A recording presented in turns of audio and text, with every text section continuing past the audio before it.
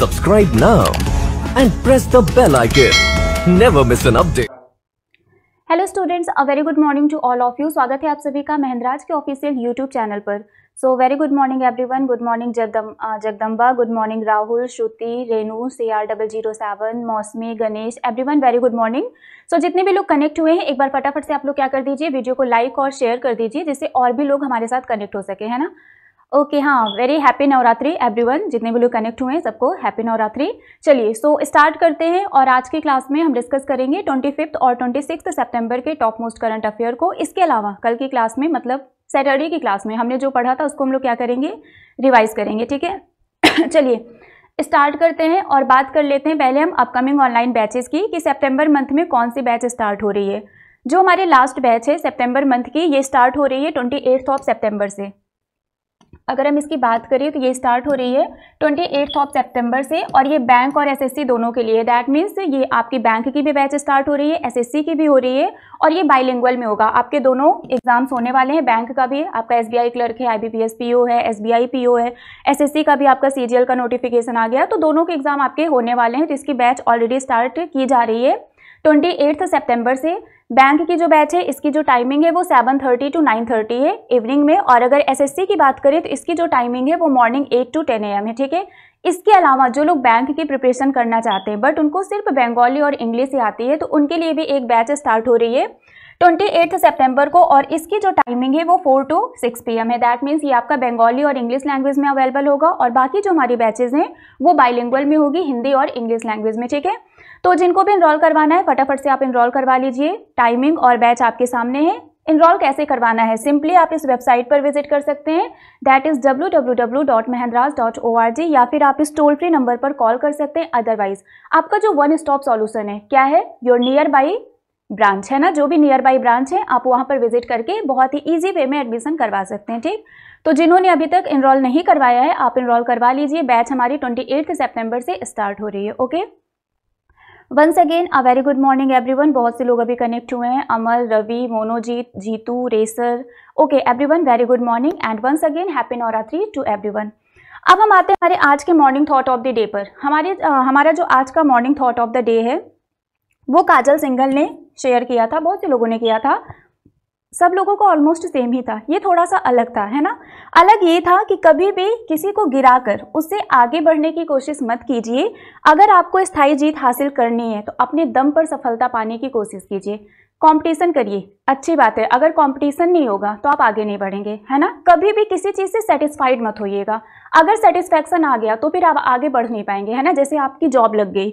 अभी आपका टारगेट क्या है? जॉब मिलना। अगर आपकी जॉब मिल गई और उसके बाद आप अपने उस जॉब से सेटिस्फाइड हो गए तो जॉब तो आपको डेफिनेटली मिल जाएगी बट आप आगे ग्रो नहीं कर पाएँगे। तो कभी भी किसी भी चीज़ से सेटिस्फाइड मत होइएगा। सेटिस्फैक्शन नहीं आना चाहिए। अगर आपके अंदर सेटिस्फैक्शन नहीं होगा तो आपके आगे बढ़ने के चांसेस हो बढ़ जाएँगे। आपको लगेगा कि नहीं, अभी हम इससे कुछ ज़्यादा बेटर कर सकते हैं। फॉर एग्ज़ाम्पल आपका क्लर्क में सिलेक्शन हुआ तो उससे खुश मत होइएगा कि क्लर्क में आपका सिलेक्शन हो गया। फिर आप ये सोचिएगा कि मुझे इससे आगे के पोस्ट पे जाना है, मुझे पीओ बनना है है ना? अगर आप आरबीआई सॉरी नॉट आरबीआई अगर आप बैंक के क्लर्क बन के ज्वाइनिंग करते हैं तो आपका ड्रीम होना ड्रीम होना चाहिए कि आप आरबीआई के गवर्नर बन के रिटायर करेंगे। ये आपका डेडिकेशन होना चाहिए, है ना? तो क्या करना है? आगे बढ़ते रहना है। कॉम्पिटिशन अच्छी बात है बट कभी किसी को गिरा कर उससे आगे बढ़ने की कोशिश मत करिएगा कि चलो ठीक है कॉम्पिटिशन है तो इनके साथ थोड़ा चीटिंग कर लेते हैं, इनको थोड़ा आ, क्या कर देते हैं? कुछ भी कर देते हैं मतलब एक गलत तरीके से आगे बढ़ जाते हैं तो वो कभी मत करिएगा। इससे रिलेटेड एक और चीज़ मैं आपको बताती हूँ जो बहुत ज़्यादातर जो हमारे एस्पायरेंट्स होते हैं मिस्टेक करते हैं। मिस्टेक वो ये है कि कभी भी किसी और की स्ट्रैटेजी को फॉलो मत करिएगा। हम लोग क्या करते हैं? जब किसी का सिलेक्शन होता है तो उसका इंटरव्यू देखते हैं, है ना? और इंटरव्यू देखने के बाद उसकी जो स्ट्रैटेजी होती है, उसको हम फॉलो करने की कोशिश करते हैं कि चलो, हमारी खुद की स्ट्रैटेजी से तो हो नहीं रहा है, इनकी स्ट्रैटेजी को फॉलो कर लेते हैं मे भी हमारा सिलेक्शन हो जाए। तो ये जो आप करते हो, ये बिल्कुल गलत होता है। है ना? कभी किसी की स्ट्रैटेजी को फॉलो नहीं करना चाहिए। क्यों नहीं करना चाहिए? क्योंकि आप क्या कर सकते हो? ये आपसे बेटर कोई नहीं जानता। हो सकता है जिसको आप फॉलो कर रहे हो, उसका कोई सब्जेक्ट बहुत वीक हो और वो सब्जेक्ट आपका बहुत स्ट्रांग हो। तो उसने तो अपने वीक सब्जेक्ट पर बहुत ज़्यादा टाइम दिया होगा और आप भी अपने स्ट्रांग सब्जेक्ट पर ज़्यादा टाइम देंगे तो आपका जो वीक सब्जेक्ट है वो तो रह ही जाएगा। तो आप सुनिए सबकी बट करिए वो जो आपके लिए बेटर हो, जो आपको लगता है कि मतलब सभी लोगों के आइडियाज़ को लीजिए देन एक फाइनल कंक्लूजन बनाइए एंड देन उसको इम्प्लीमेंट करिए, ठीक है? तो कभी भी किसी को कॉपी मत करिएगा। आगे बढ़ना है तो अपनी खुद की स्ट्रैटेजी बनानी पड़ेगी, खुद के प्लान्स बनाने पड़ेंगे, ठीक है? तो ये हो गया हमारा आज का morning thought of the day बहुत ही बढ़िया था। आई थिंक आप लोगों को समझ में आ गया होगा कि कैसे आगे बढ़ना है है ना? अब आते हैं हमारे आज के चैंपियन ऑफ़ द डे पर। तो जिन लोगों ने आंसर कमेंट किया था, वो सभी क्या है? हमारे विनर हैं और हमारे चैंपियन है। नाम देख लेते हैं कौन कौन लोग हैं। चलिए। तो ये सभी हमारे क्या है? चैंपियन है विनर है। इन लोगों ने आंसर क्या किया था? कमेंट किया था। बहुत अलग अलग आंसर भी आए हैं। वैराइटीज ऑफ़ आंसर देखने को मिले बट जिन लोगों ने कमेंट किया था, सबका नाम मैंने यहाँ पर क्या किया है? मेंशन किया है, ठीक है? चलिए। तो very well done everyone congratulation आप सभी क्या है? हमारे चैंपियन है और विनर है। अब हम आते हैं हमारे आज के रिविजन सेशन पर कि प्रीवियस क्लास में हम लोगों ने क्या क्या पढ़ा था, ठीक है? चलिए। रिवाइज करते हैं हमारी पहली हेडलाइन से और हमारी जो पहली हेडलाइन है वो है former vice president M. Venkaiah Naidu has released a collection of Prime Minister Narendra Modi's selected speeches at Akashwani Bhavan in New Delhi. PM Narendra Modi ji के स्पीचेस का जो स्पीच का जो उन्होंने भाषण दिया था उसका एक कलेक्शन उनकी स्पीचेस को कलेक्ट करके एक बुक रिलीज़ की गई है किसके द्वारा एम वेंकैया नायडू जी के द्वारा जो हमारे फॉर्मर वाइस प्रेसिडेंट है, ना so former vice president M Venkaiah Naidu ji के द्वारा पीएम मोदी जी के जो सिलेक्टेड स्पीचेस हैं उसकी एक जो बुक आई है उसको क्या किया गया? रिलीज़ किया गया कहाँ पर? न्यू दिल्ली के आकाशवाणी भवन में। उस बुक का नाम क्या है ये आप लोग बताएँगे। क्योंकि अभी हमने इसको सैटरडे को भी पढ़ा था, कल हमारा जब वीकली करंट अफेयर हुआ था तो उसमें क्वेश्चन आंसर भी किया था, ठीक है? तो उस बुक का नाम क्या है वो आप लोग बताएँगे। नेक्स्ट अगर हम हेडलाइन की बात करें तो मैक्स लाइफ ने क्या किया है? रोहित शर्मा एंड रितिका साजदे को क्या किया है? अपना ब्रांड एम्बेसडर अपॉइंट किया है। मतलब मैक्स लाइफ इंश्योरेंस के, जो भी इसके बेनिफिट्स हैं, जो भी इसके प्रोडक्ट्स हैं, इसका प्रमोशन कौन करेगा? रोहित शर्मा एंड रितिका साजदे तो यहाँ पर रोहित शर्मा और रितिका साजदे को मैक्स लाइफ ने क्या किया है? अपना ब्रांड अम्बेसडर अपॉइंट किया है, ठीक है? बुक का नाम बताइए फटाफट से। सबका साथ, सबका विकास, सबका विश्वास। Very well done. किसने बताया? राहुल ने। Okay, very well done Rahul. तो बुक का नाम क्या है? सबका साथ, सबका विकास एंड सबका विश्वास, ठीक है? इसमें पीएम मोदी जी के सिलेक्टेड स्पीचेस हैं। अब हम आते हैं नेक्स्ट हेडलाइन पर और हमारी जो नेक्स्ट हेडलाइन है, वो है third edition of Lok Manthan programme inaugurated by vice president Jagdeep Dhankhar Jagdeep Dhankhar ji ने क्या किया है? जो लोक मंथन प्रोग्राम है, इसके थर्ड एडिशन का इन्होंने इनॉग्रेशन किया। कौन सा एडिशन है? थर्ड एडिशन है। किसकी हम बात कर रहे हैं? लोक मंथन प्रोग्राम की बात कर रहे हैं। और किसके द्वारा इनॉग्रेशन किया गया? जगदीप धनकर जी के द्वारा। लोक मंथन, जहाँ पर बहुत बहुत सारे कंट्री के अलग अलग पार्ट से लोग आते हैं और उनके जो भी डिस्प्यूट्स वगैरह होते हैं, जो भी प्रॉब्लम्स वगैरह होती है, आपस में उसको वो लोग क्या करते हैं? शेयर करते हैं। हैं, ठीक है? क्लियर हो गया? जल्दी बताइए, ये क्लियर हुआ? ओके अब आते हैं नेक्स्ट पर। The electronic sector skill council of India ये क्या है? ई एस एस सी आई इन्होंने क्या किया है? एक मेमोरेंडम ऑफ़ अंडरस्टैंडिंग साइन किया है सैमसंग इंडिया के साथ, है ना? जिससे हमारे जो इम्प्लॉयबिलिटी है टेक्नोलॉजी डोमेन्स इम्प्लॉयबिलिटी को इन्हांस करने के लिए, जो भी इससे रिलेटेड हमारी इंडस्ट्री है, उसको और प्रमोट करने के लिए इम्प्लॉयबिलिटी इम्प्लॉयबिलिटी को इन्हांस करने के लिए, और यहाँ पर जो टेक्नोलॉजी डोमेन्स है, इसको, इससे रिलेटेड स्किल प्रोवाइड करने के लिए। यहाँ पर ई एस एस सी आई के साथ किसने मेमोरेंडम ऑफ़ अंडरस्टैंडिंग साइन किया है? सैमसंग इंडिया ने। क्लियर हो गया? ओके। चलिए, अब आगे आते हैं। जो हमारी नेक्स्ट हेडलाइन है वो है the supreme court has appointed former court judge justice l. Nageshwara rao for amending the constitution of indian olympic association and preparing electoral college जो एल नागेश्वर राव जी हैं, है ना? जो जस्टिस एल नागेश्वर राव हैं, इनको क्या किया गया है? इनको constitution of India olympic association को जो अमेंड करना है, इसके लिए इनको क्या किया गया है? अपॉइंट किया गया है। इनसे बोला गया है कि जो constitution of Indian olympic association है, इसमें जो भी अमेंडमेंट लाने हैं, जो भी संशोधन करना है, उसका एक रोड मैप आप क्या करिए? प्रेजेंट करिए, ठीक है? तो इनका नाम क्या है? इनका नाम है justice Nageswara Rao is it clear clear हो गया?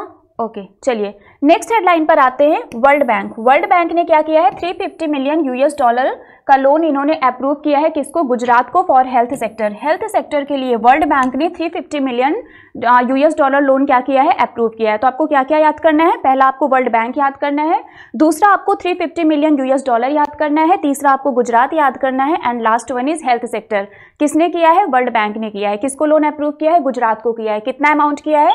थ्री मिलियन यूएस डॉलर किया है। और किस लिए किया है तो हेल्थ सेक्टर के लिए. क्लियर हो गया? इज़ इट क्लियर ओके चलिए. नेक्स्ट देखते हैं. Adani group overtakes Tatas to India's most valued conglomerate जो इंडिया की मोस्ट वैल्यूड कॉन्ग्लोमेरेट है, वो कौन सी बनी है? अडानी ग्रुप बनी है और इन्होंने टाटा को क्या किया है? पीछे छोड़ दिया है. तो टाटा को पीछे छोड़ते हुए अडानी ग्रुप ये इंडिया की मोस्ट वैल्यूड कॉन्ग्लोमेरेट बन गई है. भारत का सबसे मूल्यवान समूह कौन सा बन गया है? अडानी ग्रुप बन गया है. क्लियर हो गया? जल्दी बताइए क्लियर हुआ?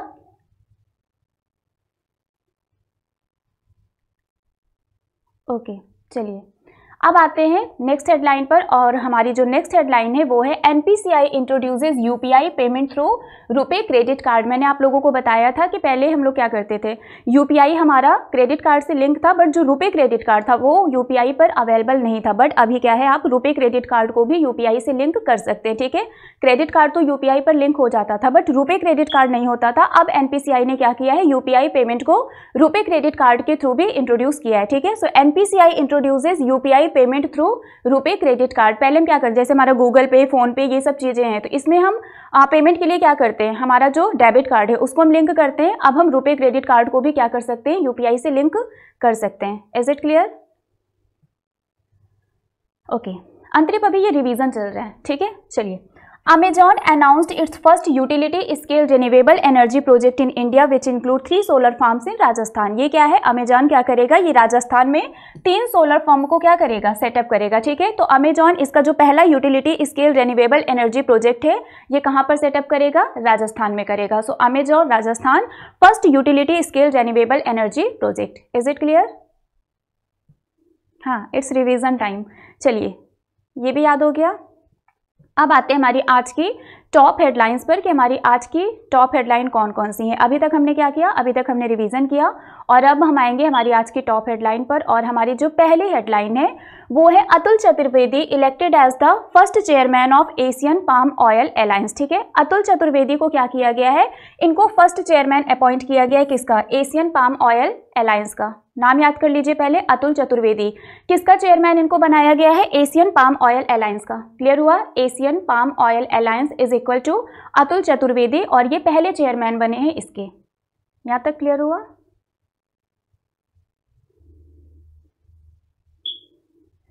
कितना टिपिकल सा नाम लग रहा है। डीएमसीजी है ना? ऐसा लग रहा है एग्ज़ाम में पूछा जाएगा कि डीएमसीजी क्या होता है। ओके okay, आगे आते हैं और इसको थोड़ा डिटेल में देखते हैं। Edible oil trade association. इन्होंने क्या किया है? इन्होंने फाइव पाम ऑयल इंपोर्टिंग जो कंट्रीज़ हैं साउथ एशिया में इंडिया, पाकिस्तान, श्रीलंका, बांग्लादेश एंड नेपाल। इन्होंने अनाउंस किया है कि ये क्या करेंगे? एशियन पाम ऑयल अलायंस को सेटअप करेंगे, ठीक है? ये क्या करेंगे? ये एशियन पाम ऑयल अलायंस को सेटअप करेंगे। ध्यान से समझिएगा, जो एडिबल ऑयल ट्रेड एसोसिएशन है है ना? इन्होंने कहा है कि जो पाँच पाम ऑयल इंपोर्टिंग कंट्रीज़ हैं साउथ एशियाज में like India Pakistan, Sri Lanka, Bangladesh and Nepal, इन सबने मिलकर अनाउंस किया है कि क्या करेंगे? एशियन पाम ऑयल अलायंस को सेटअप करेंगे। और इसके जो पहले चेयरमैन बन रहे हैं, इस अलायंस के, इसका नाम क्या है? इनका नाम है अतुल चतुर्वेदी। ठीक है? ए से नाम है दोनों का, अतुल चतुर्वेदी और इसका नाम क्या है? Asian palm oil alliance clear हुआ? एशियन पाम ऑयल अलायंस ये इसका फुल फॉर्म है। अतुल चतुर्वेदी, इसके पहले चेयरमैन बन रहे हैं। और कौन सी कंट्रीज़ मिलकर इसको सेटअप कर रही है? तो इंडिया पाकिस्तान श्रीलंका बांग्लादेश एंड नेपाल ये सारे नाम आपको याद होने चाहिए। इंडिया, पाकिस्तान, श्रीलंका, बांग्लादेश एंड नेपाल, ये नाम आपको क्यों याद होने चाहिए? क्योंकि आपसे एग्ज़ाम में पूछा जा सकता है कि वो पाँच कंट्रीज़ कौन कौन सी हैं, या फिर आपसे पूछा जा सकता है ऑप्शन देके कि इनमें से कौन सी कंट्री नहीं है या फिर कौन सी कंट्री है। तो इंडिया, पाकिस्तान, श्रीलंका, बांग्लादेश एंड नेपाल, ये पाँच कंट्रीज़ क्या कर रही है? इन्होंने अनाउंस किया है कि एशियन पाम ऑयल अलाउंस को अलायंस को सेटअप करेंगे और इसी के पहले चेयरमैन बने हैं। क्लियर हो गया? नाम क्या है? अतुल चतुर्वेदी। इतना समझ में आया? जल्दी बताइए, इतना समझ में आया? हाँ पाँचों कंट्रीज़ का नाम आप लोग याद कर लीजिएगा, चलिए। अब आते हैं नेक्स्ट हेडलाइन पर, और हमारी जो नेक्स्ट हेडलाइन है, वो है world's tallest bridge will be built in Himachal Pradesh दुनिया का जो सबसे ऊँचा पुल है, वो कहाँ पर बनेगा? वो हिमाचल प्रदेश में बनाया जाएगा, ठीक है?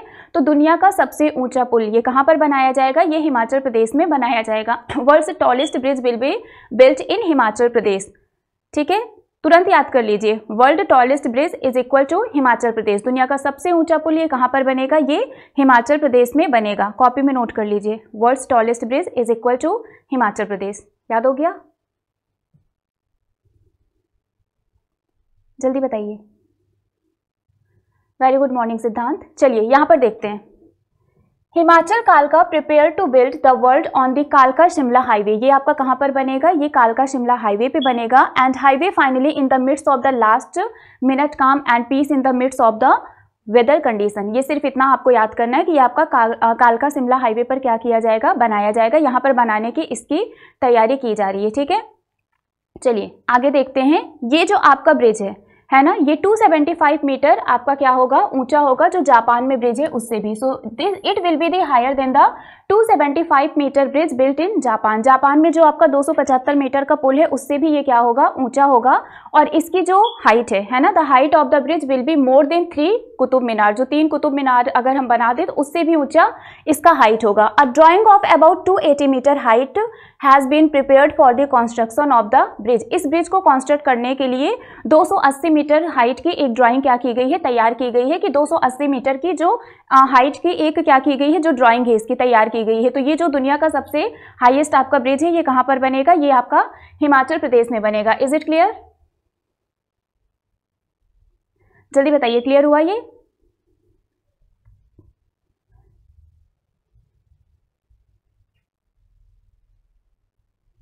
ये आपका उससे भी ऊँचा बनाया जाएगा। ये भी बना नहीं है, ये अनाउंस किया गया है कि ये आपका बनाया जाएगा, ठीक है? अभी इसका सिर्फ़ एक ड्राइंग प्रिपेयर किया गया है, ठीक है? अभी फ़िलहाल आपका गोल्डन ब्रिज है, जो अभी रिसेंटली आपका बना था, जो चेनाब ब्रिज है, ये आपका कॉन्स्ट्रक्ट किया जाएगा, ठीक है?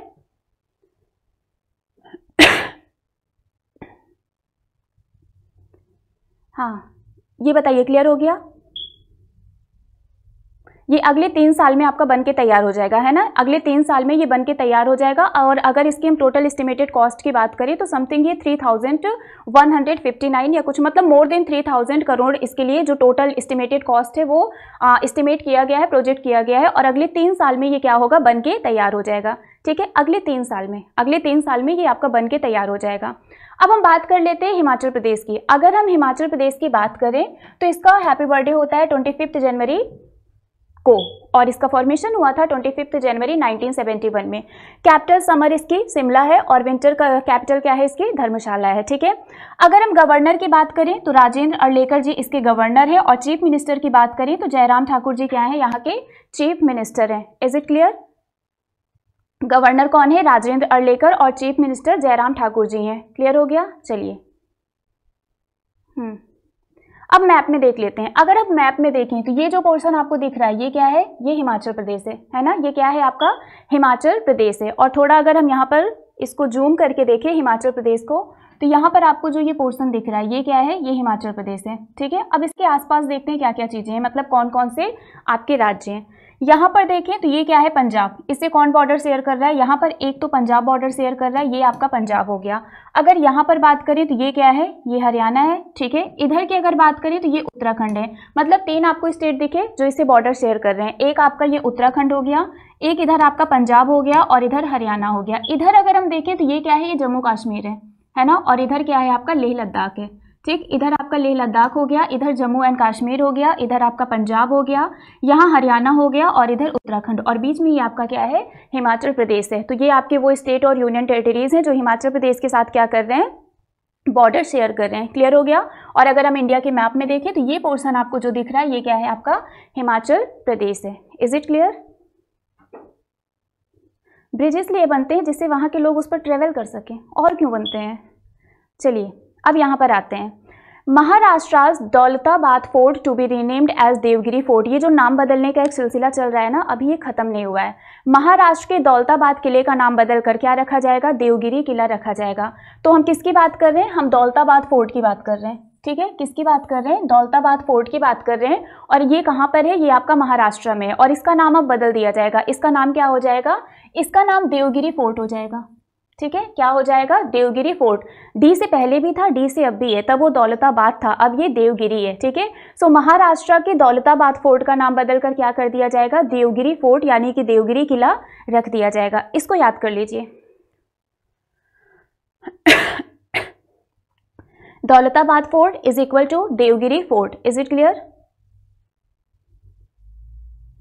first biodiversity park नारी को नमन, अपना कांगरा ऐप वेरी वेल जनरूपा। चलिए बताइए। हम्म।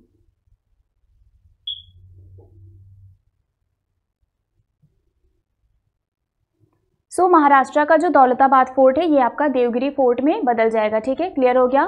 महाराष्ट्र टूरिज़्म मिनिस्टर इन्हों जो टूरिज़्म मिनिस्ट्री है उन्होंने ये डिसाइड किया है कि दौलताबाद फोर्ट को क्या करे कर, क्या करेंगे? देवगिरी फोर्ट में इसका नाम चेंज कर देंगे। ये आपका औरंगाबाद के पास में है। कहाँ पर है ये? महाराष्ट्र के औरंगाबाद के पास है। औरंगाबाद का नाम चेंज हुआ है। क्या हुआ है? औरंगाबाद का नाम। ठाकरे जी ने इसका नाम बदल दिया था है ना? जाते जाते नाम बदल कर गए थे। क्या नाम है औरंगाबाद का? बहुत बार पढ़ा है हम लोगों ने। फटाफट से बताइए। औरंगाबाद का नया नाम क्या है? ये औरंगाबाद के पास सचुएटेड है है ना? तो ये जो दौलताबाद फोर्ट है, इसका नाम देवगिरी फोर्ट हो जाएगा। अब औरंगाबाद का नाम चेंज हुआ है तो इसका नाम भी चेंज किया जाएगा, ठीक है? क्लियर हो गया? आप लोग बताते रहिए, इसका नाम क्या है? चलिए।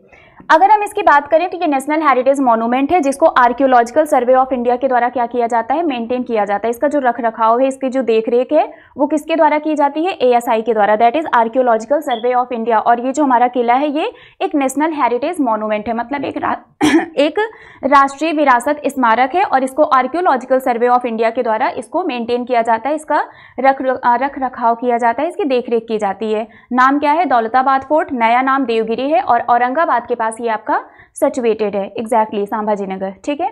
चलिए अब आते हैं आगे देखते हैं। बात करते हैं महाराष्ट्र की। अगर हम महाराष्ट्र की बात करें तो इसका हैप्पी बर्थडे कब होता है? फ़र्स्ट मे को जिस दिन हम लोग महाराष्ट्र डे सेलिब्रेट करते हैं है ना? तो इसका फॉर्मेशन हुआ था फ़र्स्ट में 1960 में हुआ था कैपिटल इसकी मुंबई है, ठीक है? कैपिटल क्या है? मुंबई है। और अगर हम बात करें गवर्नर की तो गवर्नर भगत सिंह कोशियारी हैं और चीफ मिनिस्टर एकनाथ सिंधे हैं, ठीक है? गवर्नर भगत सिंह कोश्यारी हैं, chief minister Eknath Shinde हैं और डिप्टी चीफ मिनिस्टर की बात करें तो ये देवेंद्र फडणवीस जी हैं, ठीक है? देवेंद्र फडणवीस जी ये डिप्टी चीफ मिनिस्टर हैं। Chief minister Eknath Shinde हैं और गवर्नर भगत सिंह कोश्यारी हैं। फॉर्मेशन इसका फ़र्स्ट में 1960 में हुआ था और कैपिटल इसकी मुंबई है। क्लियर हो गया? हाँ राजपथ का नाम कर्तव्य पथ हो गया। वेरी वेल जन ये अभी हम लोगों ने थोड़े दिन पहले ही पढ़ा था। ओस्मानाबाद धाराशिव। वेरी वेल जन मियाँ का बाड़ा Mahesh Nagar. Okay very good चलिए, सारे नाम आप लोगों को याद है है ना? अब यहाँ पर आते हैं। मैप में देखते हैं, ये क्या है? ये महाराष्ट्र है। है ना? ये क्या है आपका? महाराष्ट्र है। और थोड़ा इसको जूम करके देख लेते हैं, महाराष्ट्र के आसपास कौन कौन है। ठीक है? ये पोर्शन क्या है? ये महाराष्ट्र है। आपको दिख रहा है ना, ये पूरा पोर्शन क्या है जो ग्रीन कलर का है? ये महाराष्ट्र है। अब इसके आसपास क्या है? अगर यहाँ वाला पोर्शन हम देखें, ये जो पोर्शन आपको दिख रहा है, ये छत्तीसगढ़ है। ठीक है? अगर हम इस पोर्शन की बात करें तो ये वाला पोर्शन क्या है हमारा? छत्तीसगढ़ है, ठीक है?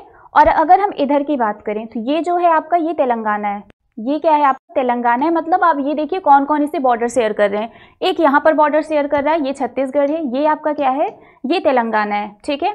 और यहाँ पर हम बात करें, ये आपका आंध्र प्रदेश है। क्लियर हो गया? ये क्या है आपका? आंध्र, एक सेकेंड ये आपका आंध्र प्रदेश है और इधर की अगर हम बात करें, ये आपका क्या है? कर्नाटका यहाँ पर छोटा सा आपका इत्तू सा गोवा है और यहाँ पर ये आपका दामन एंड दीव है और ये आपका गुजरात है, ठीक? तो यहाँ पर आपको दिखा क्या क्या यहाँ से बॉर्डर शेयर कर रहे हैं। एक आपका यहाँ पर ये दामन दीव है, ये आपका गुजरात है, ये पूरा मुंबई है, यहाँ पर गोवा है, ये आपका कर्नाटका है, ये तेलंगाना है और उधर आपका छत्तीसगढ़ है और सबसे ऊपर क्या है? ये मध्य प्रदेश। क्लियर हो गया? ये सभी वो स्टेट हैं, क्या कर रहे हैं? जो इससे बॉर्डर शेयर कर रहे हैं, ठीक है?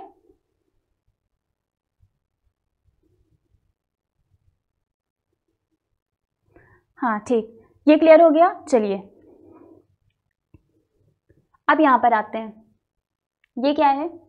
Nation gets east first dugong conservation reserve in Tamil Nadu. राष्ट्र को तमिलनाडु में अपना पहला डुगोंग संरक्षण रिज़र्व मिला है। डुगोंग क्या है? जिसको हम सी काऊ बोलते हैं ना? इसके हैबिटेट की कमी है मतलब जहाँ पर ये रहते हैं तो इसके हैबिटेट की क्या है? और इसको वनरेबल कैटेगरी में भी रखा गया है। तो राष्ट्र को तमिलनाडु में अपना पहला डुगोंग संरक्षण रिज़र्व मिला है, ठीक है? तो अगर आपसे एग्ज़ाम में पूछा जाए कि कहाँ पर मतलब हमारी कंट्री में कहाँ पर डुगोंग कंजर्वेशन रिज़र्व इस्टेब्लिश किया गया है सेटअप किया गया है तो आप क्या बताओगे? तमिलनाडु। ठीक है? क्या क्या चीज़ें आपको याद करनी है? सिर्फ़ एक चीज़। First dugong conservation reserve is equal to Tamil Nadu ठीक है? क्या याद करना है आपको? पहला डुगोंग संरक्षण रिज़र्व ये आपका कहाँ पर बनाया गया है? ये आपका तमिलनाडु में बनाया गया है। ये क्या है आपका डुगोंग जिसको हम सी काउ के नाम से जानते हैं। ठीक है?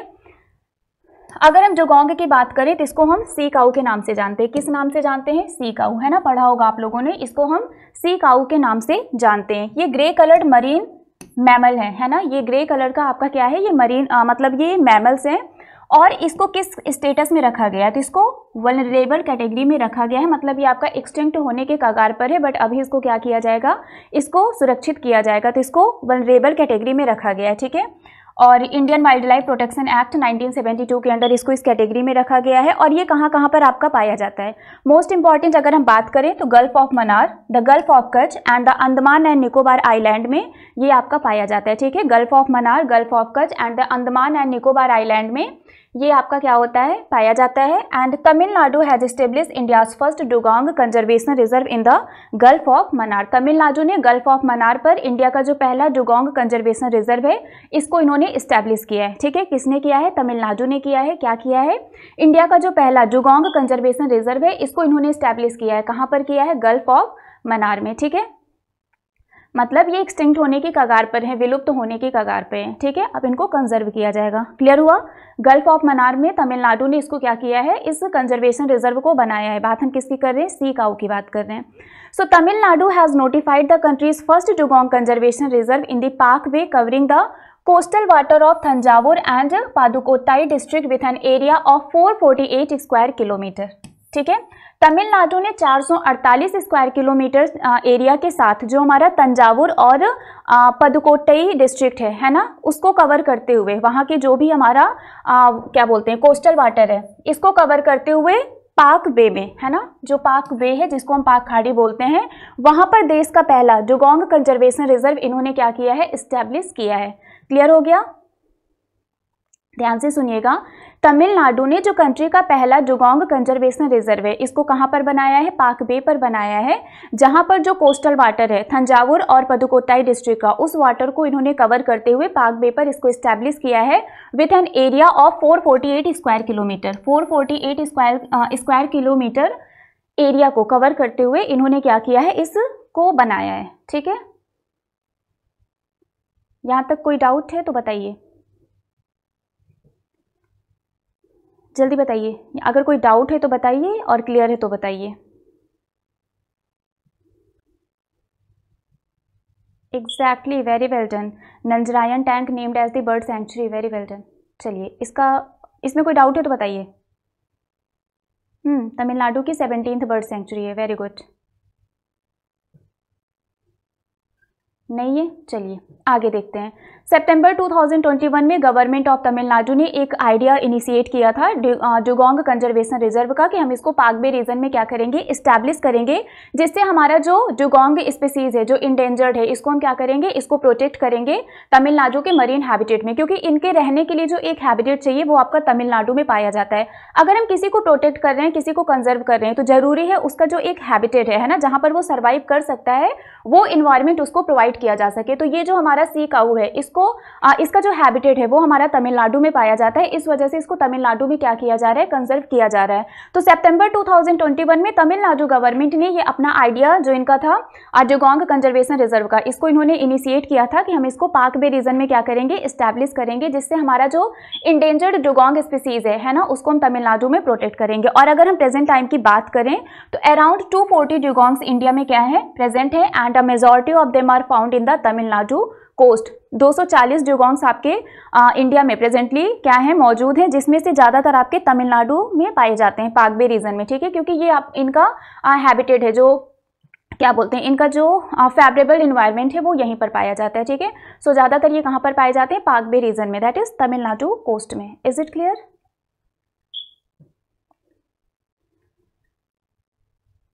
ओके चलिए। अब हम बात कर लेते हैं किसकी? तमिलनाडु की। अगर हम तमिलनाडु की बात करें तो इसका फॉर्मेशन कब हुआ था? 26 जनवरी 1950 में हुआ था, ठीक है? 26 जनवरी 1950 में इसका फॉर्मेशन हुआ था। कैपिटल क्या है इसकी? कैपिटल चेन्नई है, ठीक है? कैपिटल इसकी क्या है? कैपिटल चेन्नई है। गवर्नर की बात करें तो आर्यन रवि है और चीफ मिनिस्टर कौन है? एम के स्टैलिन है ये आप लोगों को याद ही होगा। है ना? फॉर्मेशन 26 जनवरी 1950 में हुआ था। गवर्नर आर्यन रवि है, chief minister M K Stalin है और अगर हम सीट की बात करें तो यूनिक एमरल सीट 234 है, लोकसभा सीट 39 है और राज्यसभा सीट 18 है। और हाईकोर्ट यहाँ पर कौन सा है? मद्रास हाईकोर्ट है।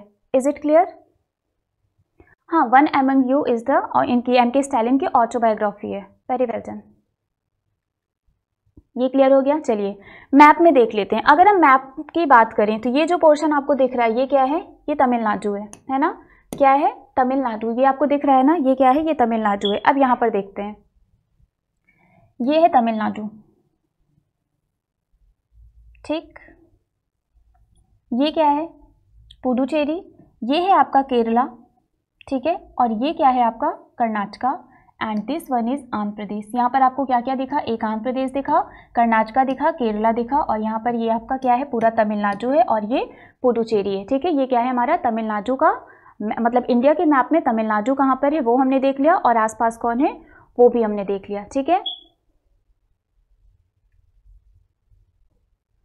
अब यहाँ पर आते हैं। नेक्स्ट हेडलाइन हमारी क्या है? REC limited become twelfth company to gets Maharatna company status तो महारत्न कंपनी स्टेटस जिसको मिला है रिसेंटली जो बारहवीं कंपनी बनी है, जिसको महारत्न कंपनी का स्टेटस मिला है, वो हमारा आरईसी लिमिटेड है।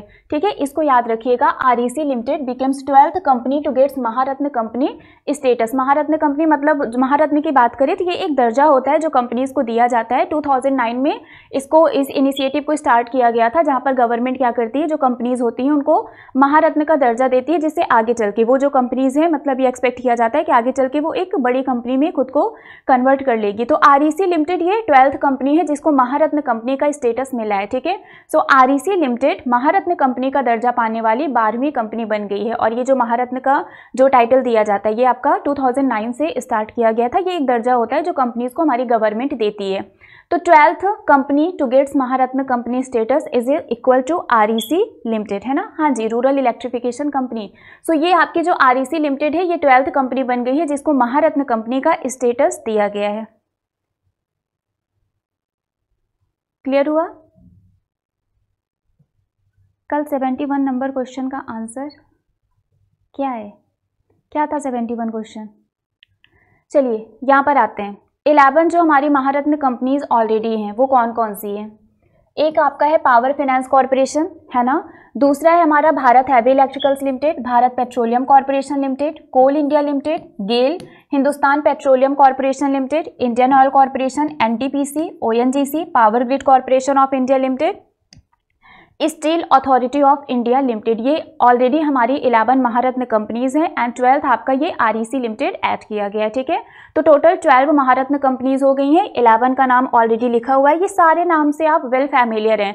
पावर फाइनेंस कॉरपोरेशन आपको पता है, भारत हैवी इलेक्ट्रिकल्स लिमिटेड के बारे में पता है, भारत पेट्रोलियम कॉरपोरेशन लिमिटेड के बारे में पता है coal India limited GAIL Hindustan petroleum Indian oil NTPC ONGC and power grid and SAIL steel authority of India limited ये लिस्ट मैंने आपको क्यों दिया है? लिस्ट मैंने आप लोगों को इसलिए दिया है क्योंकि मे बी एग्ज़ाम में आपसे पूछ सकते हैं कि इनमें से कौन सी महारत्न कंपनी नहीं है। तो आपको जब ये पता होगा तो जो एक नया नाम दिखेगा, वो नहीं होगा। या फिर आपसे पूछ लेंगे, इनमें से कौन सा है? तो जो जाना पहचाना सा नाम लगेगा, वो आंसर होगा, है ना? तो दोनों में से कोई भी क्वेश्चन एग्ज़ाम में पूछा जा सकता है। तो इसलिए ये नाम आपको याद होने चाहिए। अगर जाना पहचाना नाम है तो वो आंसर होगा। नया नाम है तो वो नहीं होगा। क्लियर हो गया? बताइए क्लियर हुआ? हाँ इनके नाम आपको याद करने हैं ठीक है? हाँ एग्जैक्टली exactly, इनका जो एनुअल टर्नओवर है वो तीन साल में twenty five hundred crore twenty five thousand crore के अबव होना चाहिए। चलिए ये क्लियर हो गया? अब आरईसी के बारे में थोड़ा डिस्कस कर लेते हैं ना? अगर हम आरईसी की बात करें रूरल इलेक्ट्रिफिकेशन कॉरपोरेशन लिमिटेड इसका पूरा नाम क्या है? रूरल इलेक्ट्रिफिकेशन कॉरपोरेशन लिमिटेड इसका फाउंडेशन हुआ था ट्वेंटी फिफ्थ जुलाई 1963 1969 में। मतलब आज से तिरपन साल पहले 53 थ्री ईयर्स एगो इसका फॉर्मेशन हुआ था ट्वेंटी फिफ्थ जुलाई 1969 में, ठीक है? हेडक्वार्टर इसका कहाँ पर है? न्यू दिल्ली न्यू दिल्ली में इसका हेडक्वार्टर है और इसके जो सीएमडी है, उनका नाम क्या है? विवेक कुमार देवांगन। ये हम लोगों ने पढ़ा भी था। है ना? विवेक कुमार देवांगन ये इसके क्या है? चेयरमैन और मैनेजिंग डायरेक्टर तो आरईसी का फुल फॉर्म क्या है? आरईसी का फुल फॉर्म है रूरल इलेक्ट्रिफिकेशन कॉर्पोरेशन लिमिटेड ठीक है? रूरल इलेक्ट्रिफिकेशन कॉरपोरेशन लिमिटेड ये इसका नाम है, जिसको अब आरईसी के नाम से जाना जाता है, ठीक है? फॉर्मेशन इसका ट्वेंटी फिफ्थ जुलाई 1969 में हुआ था। हेडक्वार्टर इसका न्यू दिल्ली में है और इसकी जो सीएमडी है चेयरमैन है मैनेजिंग डायरेक्टर उनका नाम विवेक कुमार देवांगन है। यहाँ तक क्लियर हो गया? क्लियर हो गया? ओके चलिए। हॉकी इंडिया इनको पहचानते हैं आप लोग? कुछ जाने पहचाने से लग रहे हैं?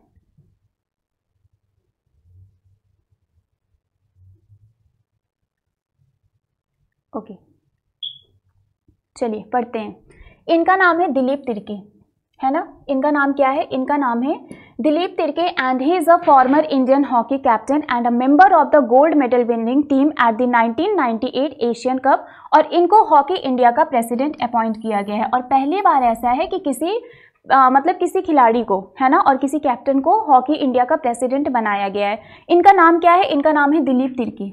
ये याद रखिएगा, इनका नाम दिलीप तिरके है और इनको हॉकी इंडिया का प्रेसिडेंट अपॉइंट किया गया है। ये फॉर्मर इंडिया हॉकी कैप्टन भी रह चुके हैं और इसके अलावा जो गोल्ड मेडल विनिंग टीम थी 1998 एशियन गेम में, उसके ये मेंबर भी रह चुके हैं, ठीक है? तो इनका नाम दिलीप तिरके है और इनको हॉकी इंडिया का प्रेसिडेंट अपॉइंट किया गया है। Is it clear so the president of hockey India is equal to Dilip Tirkey clear हो गया?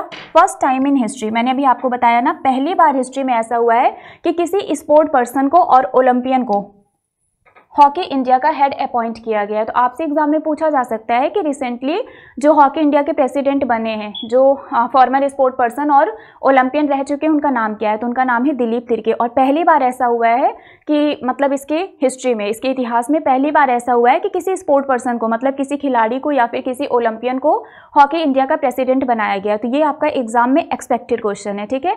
नाम क्या है इनका? दिलीप तिरके। याद रखिएगा, दिलीप तिरके इनका नाम है और जब गोल्ड मेडल जीता था इंडिया ने 1998 एशियन कप में, उस टाइम ये इसके मेंबर थे और ये कैप्टन भी रह चुके हैं हॉकी इंडिया के। क्लियर हो गया? नाम क्या है? दिलीप तिरके और ये हॉकी इंडिया के प्रेसिडेंट बने हैं। So new president of hockey India is equal to Dilip Tirkey. Clear हो गया? सिंपल आपको बस याद ही करना है इसमें। Hockey India president Dilip Tirkey. अगर इनकी हम बात करें तो Tirkey has a record of 412 international matches as a defender in his career spanning more than 15 year तो इन्होंने 15 साल के करियर में 412 अंतर्राष्ट्रीय मैच खेले हैं। कितने? 412 सो 412 इंटरनेशनल मैचेस इन्होंने प्ले किए हैं अपने 15 साल से भी ज़्यादा के करियर में। ठीक है? ये नहीं पूछा जाएगा बट नॉलेज में रखिएगा। अब यहाँ पर आते हैं। हॉकी इंडिया की अगर हम बात करें हॉकी इंडिया का फाउंडेशन हुआ था 2019 में और इसका जो एफिलिएशन डेट है वो 2011 है। ठीक है? फाउंडेशन हुआ था 2009 में एफिलिएट हुआ था 2011 में। हेडक्वार्टर इसका कहाँ पर है? न्यू दिल्ली में है। प्रेसिडेंट कौन है? दिलीप तिरके हैं। अभी हमने यही पढ़ा। प्रेसिडेंट कौन है? दिलीप तिरके हैं। सीईओ की बात करें तो एलेना नॉर्मन एलेना नॉर्मन क्या है? ये चीफ एग्जीक्यूटिव ऑफिसर हैं और अगर हम वाइस प्रेसिडेंट की बात करें, है ना? वाइस प्रेसिडेंट की बात करें तो ये आसिमा अली और S B S Subramanya Gupta हैं। और सेक्रेटरी कौन है? भोलानाथ सिंह है। मेंस कोच ग्राहम रेड है। वीमेंस कोच जे स्कॉपमैन है और इन्हों, और इसने मतलब हॉकी इंडिया ने इंडियन हॉकी फेडरेशन को क्या किया है? रिप्लेस किया पहले ये इंडियन हॉकी फेडरेशन के नाम से था। 1925 में इस्टेब्लिश हुआ था। 2008 तक ये इंडियन हॉकी फेडरेशन के नाम से था। देन 2009 में इसको हॉकी इंडिया कर दिया गया। इज़ इट क्लियर आप पीडीएफ आपको डिस्क्रिप्शन बॉक्स में मिलेगा। क्लास एंड होने के बाद। यहाँ तक क्लियर हो गया?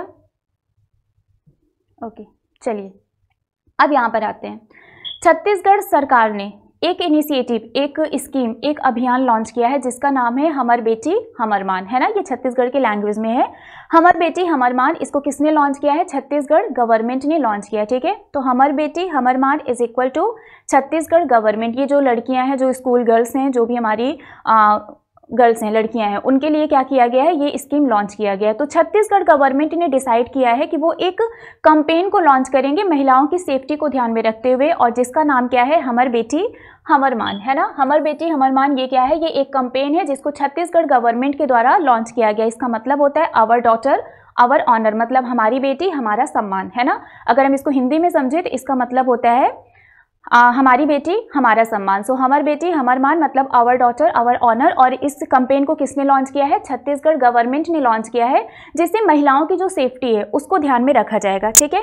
ऑब्जेक्टिव क्या है इसका? To create awareness on safety measures among school and college going girls and priorities and prioritise registration and investigation of women related crimes यहाँ पर जो भी स्कूल या फिर कॉलेज लड़कियाँ जाती हैं उनकी सेफ्टी को ध्यान में रखा जाएगा और जो भी वीमेन से रिलेटेड क्राइम का जो भी आ, मतलब वो होता है रजिस्ट्रेशन होता है उसको पहले क्या किया जाएगा? उसको प्रियोरिटी दी जाएगी उसका इन्वेस्टिगेशन पहले किया जाएगा ठीक है? तो यहाँ पर पूरी तरीके से महिलाओं के सुरक्षा का उनकी सेफ्टी का क्या किया जाएगा? ध्यान रखा जाएगा। और इसी चीज़ को ध्यान में रखते हुए छत्तीसगढ़ गवर्नमेंट ने इस इनिशिएटिव को लॉन्च किया है जिसका नाम है हमर बेटी हमर मान, हमारी बेटी, हमारा सम्मान अवर डॉटर अवर ऑनर ठीक है? इस कंपेन के अंडर क्या होगा? जो लड़कियाँ हैं, उनको जो भी नेसेसरी सब्जेक्ट्स हैं, उनके बारे में उनको बताया जाएगा, उनको पढ़ाया जाएगा, उनको जागरूक किया जाएगा। लाइक लीगल राइट्स क्या हैं? गुड टच बैड टच क्या है? सेक्सुअल क्राइम्स क्या होते हैं? इन सभी चीज़ों के बारे में उनको पढ़ाया जाएगा, उनको नॉलेज दी जाएगी, जिससे वो अपनी सेफ्टी और अपना प्रोटेक्शन खुद भी कर सकें और बाकी लोग भी क्या कर सकें? इसके बारे में वो जागरूक हों कि कैसे महिलाओं की सेफ्टी का ध्यान रखना है, ठीक है? तो सबसे इंपॉर्टेंट क्या है कि लड़कियों को खुद पहले पता होना चाहिए कि क्या चीज़ उनके साथ सही हो रहा है, क्या चीज़ गलत हो रहा है, क्या उनके अधिकार है, क्या उनके अधिकार नहीं है तो इन सभी चीज़ों के बारे में क्या किया जाएगा? इस कंपेन के अंदर उन सभी लड़कियों को उसके बारे में नॉलेज दी जाएगी, उनको पढ़ाया जाएगा, ठीक है? और इसके अलावा एक हेल्पलाइन नंबर भी इशू किया जाएगा इस कंपेन के अंदर, जिससे लड़कियों को कभी भी अगर हेल्प की ज़रूरत हो तो वो उस हेल्पलाइन नंबर पर कॉल कर सकती हैं। इज़ इट क्लियर जल्दी बताइए। क्लियर हो गया? चलिए। अब छत्तीसगढ़ गवर्नमेंट के कुछ और स्कीम्स हैं जो लॉन्च किए गए थे। बस एक नाम एक बार मतलब गो थ्रू कर लेते हैं कि कौन कौन से नाम है। रोज़गार mission, Chhattisgarh, Shri Dhanvantari generic medical store scheme Chhattisgarh Kaushalya Matritva Yojana, मुख्यमंत्री मितान योजना, राजीव गांधी ग्रामीण भूमिहीन कृषि, मजदूर न्याय योजना, शहीद महेंद्र कर्मा तेंदुपत्ता, संग्राहक सामाजिक सुरक्षा योजना, इंदिरा वन मितान योजना और इसके अलावा भी बहुत सारी स्कीम्स हैं जिसको छत्तीसगढ़ गवर्नमेंट ने लॉन्च किया है और ये रिसेंट स्कीम्स हैं, है ना? जो पिछले छः सात महीने में ये सारी स्कीम्स हम लोगों ने पढ़ी थी। तो ये रिसेंट स्कीम्स है, इसके अलावा भी बहुत सारी स्कीम्स है जिसको छत्तीसगढ़ गवर्नमेंट ने क्या किया था? लॉन्च किया था, ठीक है? अब हम आते हैं नेक्स्ट हेडलाइन पर। और हमारी जो नेक्स्ट हेडलाइन है वो है आरोग्य मंथन। आरोग्य मंथन के बारे में बात करते हैं। अच्छा ये आरोग्य मंथन है। इसके अलावा भी कुछ पढ़ा था हम लोगों ने? लोक मंथन, है ना? लोक मंथन भी तो पढ़ा था। लोक मंथन क्या था? सैटरडे को हम लोगों ने लोक मंथन पढ़ा था। अभी स्टार्टिंग में भी पढ़ा था। वो लोक मंथन था, ये आरोग्य मंथन है। लोक मंथन मतलब जन, लोक का मतलब होता है जन, पब्लिक है ना, वहाँ पर। और मंथन का मतलब होता है एक तरीके से डिस्कशन और ये आरोग्य मंथन, आरोग्य का मतलब होता है रिलेटेड विथ हेल्थ है ना? So health minister Mansukh Mandaviya. जो हमारे हेल्थ मिनिस्टर हैं, मनसुख मंडाविया, इन्होंने इनाग्रेट किया है आरोग्य मंथन 2022 को। तो आरोग्य का मतलब मैंने बताया ना, आरोग्य हमारे हेल्थ से रिलेटेड होता है और ये आरोग्य मंथन है। तो ऑब्वियस सी बात है हेल्थ से रिलेटेड है तो हेल्थ मिनिस्टर ही इसका इनाग्रेशन करेंगे। तो जो आरोग्य मंथन है, इसका इनाग्रेशन किसके द्वारा किया गया? हेल्थ मिनिस्टर मनसुख मंडाविया जी के द्वारा किया गया। To celebrate the four year of implementation of Ayushman Bharat Pradhan Mantri Jan Arogya योजना। जो आयुष्मान भारत प्रधानमंत्री जन आरोग्य योजना है, उसके चार साल को जो इम्प्लीमेंट मतलब उसको इम्प्लीमेंट करने के जो चार साल पूरे हो गए हैं उसको सेलिब्रेट करने के लिए मनसुख मंडाविया जी ने आरोग्य मंथन को क्या किया? इनाग्रेट किया, ठीक है? सो आयुष्मान भारत जन आरोग्य योजना के चार साल पूरे होने के ओकेजन में आरोग्य मंथन क्या किया गया? इनाग्रेट किया गया मनसुख मंडाविया जी के द्वारा। क्लियर हो गया? जल्दी बताइए, ये क्लियर हुआ?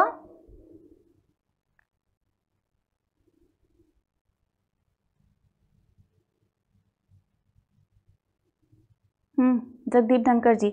चलिए, ये जो स्कीम है, ये क्या प्रोवाइड करेगा? It will provide a health cover of five lakh rupees annually to vulnerable families ये हम बात कर रहे हैं जन आरोग्य योजना की, जिसमें पता है जो भी फैमिलीज़ हैं, उनको पाँच लाख रुपए तक का क्या किया जाता है? अमाउंट फाइनेंशियल असिस्टेंस प्रोवाइड किया जाता है ना? तो ये हेल्थ कवर प्रोवाइड करता है फाइव लाख रुपीज़ तक का annually and aims at benefiting more than ten crore poor families across the country हमारी कंट्री में जो दस करोड़ से भी ज़्यादा गरीब लोग हैं, उनको हर साल पाँच लाख रुपए तक का हेल्थ कवर क्या किया जाएगा? प्रोवाइड किया जाएगा किसमें? जन आरोग्य योजना के अंदर, ठीक है? चलिए, अगर हम इस स्कीम की बात करें तो ये कब लॉन्च किया गया था? सितंबर 2018 में। सॉरी 2018 में ये लॉन्च किया गया था, ठीक है?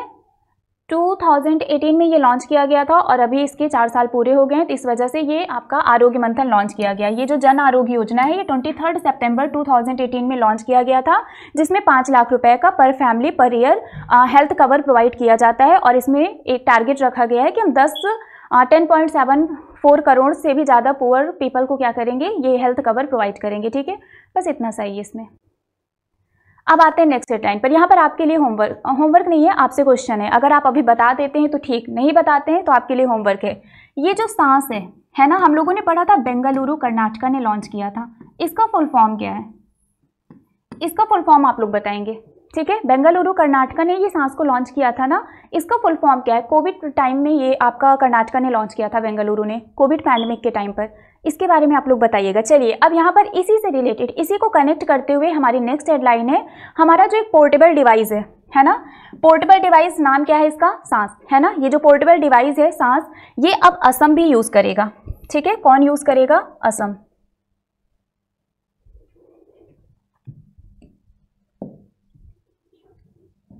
ये क्या है? Assam.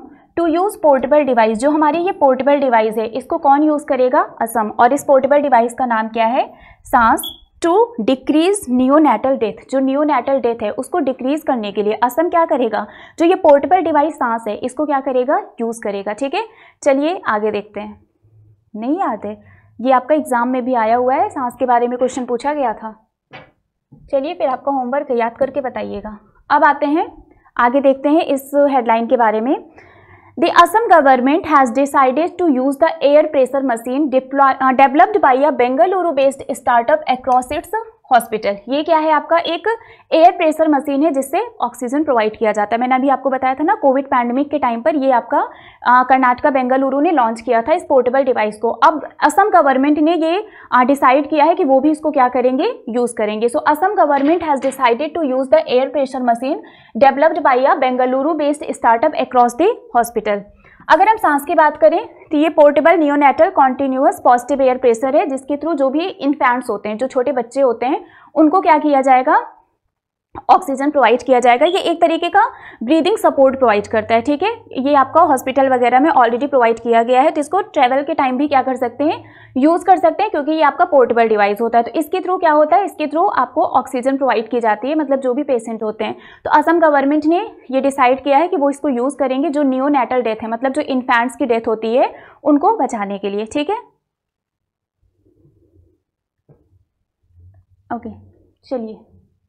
बाकी यही है इस मशीन को डेवलप करने के लिए जो इन एक्सेल टेक्नोलॉजीज़ है इन्होंने क्या किया है centre for cellular and molecular platform में इसको इनक्यूबेट किया है और समृद्ध हेल्थ केयर के जो भी आ, मतलब जो समृद्ध हेल्थ केयर है उनके साथ हाथ मिलाया है इन्होंने और इसको पूरा क्या किया है बनाया है और असम गवर्नमेंट इसको क्या करेगी यूज़ करेगी ठीक है? बस इंपॉर्टेंट ये है कि सांस का फुल फॉर्म क्या है क्यों यूज़ किया जाता है कौन से स्टेट ने डिसाइड किया है कि वो इस पोर्टेबल डिवाइस को यूज़ करेंगे ठीक है? Social awareness and action to neutralise successfully to neutralise pneumonia successfully pneumonia भी तो है ना उसमें। चलिए, अब यहाँ पर आते हैं। एक बार फटाफट से देख लेते हैं। Government to invest thirty billion thirty dollar thirty billion dollar for four G five G connectivity to every village हर गाँव में 4G और 5G कनेक्टिविटी प्रोवाइड करने के लिए हमारी जो गवर्नमेंट है वो 30 बिलियन डॉलर क्या करेगी? इन्वेस्ट करेगी। बस इतना याद करना है 30 बिलियन डॉलर है ना? 4G और 5G कनेक्टिविटी को हर गाँव में प्रोवाइड करने के लिए हमारी गवर्नमेंट 30 बिलियन डॉलर अमाउंट क्या करेगी? इन्वेस्ट करेगी। आपको अमाउंट याद करना है, ठीक है? That is thirty billion dollar clear हो गया? So government is investing nearly thirty billion dollar to ensure last mile network accessibility for 4G simple सा मतलब है कि गाँव में मतलब जो हमारे रूरल एरियाज़ हैं, वहाँ पर 4G और 5G कनेक्टिविटी प्रोवाइड करने के लिए हमारी गवर्नमेंट क्या कर रही है? 30 बिलियन डॉलर अमाउंट इन्वेस्ट कर रही है जिससे हर जगह, गाँव के हर एक कोने कोने में। आपका 4G और 5G नेटवर्क क्या हो? अवेलेबल हो। ठीक है? चलिए। Yogya and next doctor M Srinivas, ठीक है? इनको क्या किया गया है? इनको डायरेक्टर अपॉइंट किया गया है। So the central government has appointed M Srinivas as the director of the AIIMS AIIMS के जो नए डायरेक्टर बने हैं, इनका नाम क्या है? इनका नाम एम श्रीनिवास है और इन्होंने डॉक्टर रणदीप गुलेरिया को रिप्लेस किया है, ठीक है? तो एम श्रीनिवास ये क्या बने हैं? एम्स के नए डायरेक्टर बने हैं और इन्होंने क्या किया है? इन्होंने डॉक्टर रणदीप गुलेरिया को रिप्लेस किया है। क्लियर हो गया? डॉक्टर रणदीप गुलेरिया को रिप्लेस करके एम श्रीनिवास ये एम्स के नए डायरेक्टर बने हैं। इज़ इट क्लियर कौन बना है और इन्होंने किसको रिप्लेस किया है, ये आपको याद करना है ओके चलिए। अब ये कुछ क्वेश्चंस हैं, इसका आंसर आप लोग कर लीजिएगा, नहीं तो कल की क्लास में इसको हम लोग डिस्कस करेंगे। झूलन गोस्वामी, है ना? बहुत ही जाना पहचाना नाम है। इन्होंने भी क्या कर दिया है? रिटायरमेंट अनाउंस कर दिया है ठीक है? तो झूलन गोस्वामी इन्होंने भी क्या किया है? इन्होंने रिटायरमेंट अनाउंस कर दिया है। एंड अगर हम इनकी बात करें तो she is the only one who bowled ten thousand balls in one day international cricket in women's cricket history so women's cricket history में है ना? दस हज़ार बॉल बनाने वाली ये पहली आ, महिला बनी है। नाम क्या है इनका? झूलन गोस्वामी। और इन्होंने भी क्या किया है? रिटायरमेंट अनाउंस कर दिया है। इसके अलावा अगर हम बात करें तो 5G सर्विस ये हमारा फ़र्स्ट अक्टूबर से क्या किया जाएगा? इंडिया में लॉन्च किया जाएगा। पीएम मोदी जी ने अनाउंस किया है कि वो क्या करेंगे? फ़र्स्ट अक्टूबर से 5G सर्विस को इंडिया में लॉन्च करेंगे, ठीक है? और सबसे इंपॉर्टेंट हमारी जो लास्ट हेडलाइन है वो ये है कि जो चंडीगढ़ एयरपोर्ट है है ना? यहाँ पर एक और नाम चेंज हुआ है और इसका नाम क्या है? चंडीगढ़ एयरपोर्ट और इसका नाम चेंज होके क्या हो जाएगा? शहीद भगत सिंह। है ना? एक और नाम चेंज हो रहा है। So it has been decided to rename Chandigarh airport after Shaheed Bhagat Singh. तो इसका नाम चेंज करके क्या कर दिया जाएगा? शहीद भगत सिंह एयरपोर्ट कर दिया जाएगा। क्लियर हो गया? तो जाते जाते एक और नाम चेंज हो गया। स्टार्टिंग भी हम लोगों ने वो किले से की थी और अभी एयरपोर्ट का नाम चेंज कर दिया। अब आते हैं हमारे आज के एमसीक्यू सेशन पर, जिसमें हम लोग क्या करेंगे? क्वेश्चन आंसर करेंगे और फटाफट से आंसर बताइए। चलिए बताइए, इसका करेक्ट आंसर क्या होगा? इसका आंसर क्या होगा जल्दी से बताइए। इन विच स्टेट पंग लैप्सोल महोत्सव महोत्सव फेस्टिवल 2022 इज़ सेलिब्रेटेड किस राज्य में पंग लैप्सोल महोत्सव 2022 मनाया जाता है? सिक्किम, तमिलनाडु, जम्मू एंड कश्मीर, छत्तीसगढ़। इसका करेक्ट आंसर क्या होगा? निशा, आपको वो पीडीएफ कल वाला भी और आज वाला भी डिस्क्रिप्शन बॉक्स में मिल जाएगा, ठीक है? इसका आंसर क्या होगा? वेरी वेल डन इसका जो करेक्ट आंसर है, वो है सिक्किम। क्या है correct answer Sikkim is the correct answer next question is who has been elected as the first president of Asia palm oil alliance Asia palm oil alliance के पहले अध्यक्ष के रूप में किसे नियुक्त किया गया है? अजय माथुर, अतुल चतुर्वेदी, मुकुल रोहतगी, सुमन बेरी। क्या होगा answer Ajay Mathur, Atul Chaturvedi, Mukul Rohatgi, Suman Beri. What will be the correct answer very well done इसका जो करेक्ट आंसर है, वो है अतुल चतुर्वेदी, है ना? Atul Chaturvedi is the correct answer and next question is where the world tallest bridge will be built दुनिया का सबसे ऊँचा पुल कहाँ बनाया जाएगा? Jammu and Kashmir, Siachen glacier, Ladakh, Himachal Pradesh. Siachen glacier, अभी हम लोगों ने पढ़ा था ना सेटेलाइट बेस्ड इंटरनेट सर्विस यहाँ पर क्या किया गया है? सेटअप किया गया है। इसका आंसर क्या होगा? वेरी गुड इसका जो करेक्ट आंसर है, वो है Himachal Pradesh. Himachal Pradesh is the correct answer next question is Recently, which state government has announced to change the name of Daulatabad fort to Dev Devagiri fort इसका answer क्या होगा? हाल ही में किस राज्य सरकार ने दौलताबाद किले का नाम बदलकर देवगिरी किला करने की घोषणा की है? तेलंगाना महाराष्ट्र कर्नाटका उत्तर प्रदेश। इसका आंसर क्या होगा? वेरी वेल इसका जो करेक्ट आंसर है वो है Maharashtra. Maharashtra is the correct answer next question is in which state India first dugong conservation reserve has been established Bharat का पहला जुगोंग संरक्षण रिज़र्व किस राज्य में स्थापित किया जाएगा? राजस्थान, गुजरात, हरियाणा, तमिलनाडु। इसका आंसर क्या होगा? इंडिया फ़र्स्ट जुगोंग कंजर्वेशन जिसको हम लोग सी काउ बोलते हैं। इसका जो करेक्ट आंसर है, वो है तमिलनाडु, है ना? क्या है इसका correct answer Tamil Nadu. And next question is who has been appointed by the Supreme Court to amend the constitution of the Indian Olympic Association and prepare the electoral college. भारतीय Olympic संघ के संविधान में संशोधन और electoral college तैयार करने के लिए सुप्रीम कोर्ट द्वारा किसे नियुक्त किया गया है? Sunil Vajpayee Sanjay Agarwal M S Sahu L Nageswara Rao. क्या होगा इसका आंसर? वेरी गुड इसका जो करेक्ट आंसर है वो है एल नागेश्वर राव, है ना? L Nageswara Rao is the correct answer next question is vice president Jagdeep Dhankhar has inaugurated the third edition of the Lok Manthan programme in which of the following city आपको बताना है उपराष्ट्रपति जगदीप धनकर जी ने लोक मंथन कार्यक्रम के तीसरे संस्करण का उद्घाटन निम्नलिखित में से किस शहर में किया है? बेंगलुरु, न्यू दिल्ली, गुवाहाटी, अहमदाबाद। इसका आंसर क्या होगा? Bengaluru, New Delhi, Guwahati, Ahmedabad. Very good इसका जो करेक्ट आंसर है वो है Guwahati. Guwahati is the correct answer next question is world bank has approved a loan of 350 million dollar to which of the following state for spending on health care services विश्व बैंक ने स्वास्थ्य सेवाओं पर खर्च करने के लिए निम्नलिखित में से किस राज्य को 350 मिलियन डॉलर के ऋण को मंजूरी दी है? उत्तर प्रदेश, गुजरात, राजस्थान, महाराष्ट्र. क्या होगा इसका करेक्ट आंसर वेरी गुड इसका जो करेक्ट आंसर है, वो है गुजरात। क्या है correct answer Gujarat is the correct answer and next question is which state government has decided to use the air pressure machine Saans developed by the Bengaluru based startup across its hospital किस राज्य सरकार ने अपने अस्पतालों में बेंगलुरु स्थित एक startup द्वारा विकसित एयर प्रेशर वायुदाब मशीन सांस का उपयोग करने का निर्णय लिया है? Tripura West Bengal Assam Karnataka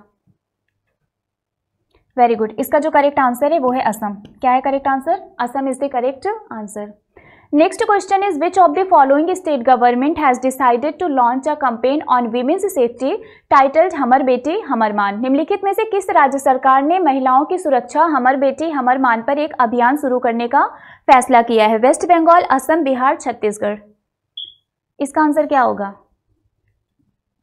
इसका जो करेक्ट आंसर है, वो है Chhattisgarh Chhattisgarh is the correct answer okay चलिए सो यहाँ पर हमारे टॉप टेन क्वेश्चंस कंप्लीट हो गए so very well done everyone जिन लोगों ने बिल्कुल सही सही आंसर दिया है, अब हम आते हैं हमारे आज के होमवर्क क्वेश्चन पर.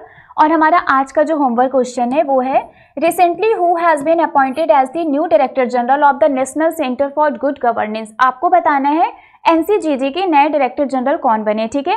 तो इसका आंसर आप लोग हमें फटाफट से कमेंट करके बताइएगा, जो बताएगा वो बनेगा हमारा विनर नेक्स्ट हम आपसे अभी फिर मिलेंगे साढ़े बारह बजे, और जिसमें हम लोग क्या डिस्कस करेंगे? स्पोर्ट्स इन न्यूज़ अभी तक रिसेंटली स्पोर्ट्स से रिलेटेड जो भी न्यूज़ रही है, उसको आज की क्लास में साढ़े बारह बजे हम लोग क्या करेंगे? डिस्कस करेंगे, ठीक है? ओके सो मिलते हैं आपसे फिर साढ़े बारह बजे. Till then bye guys take care thank you so much subscribe now.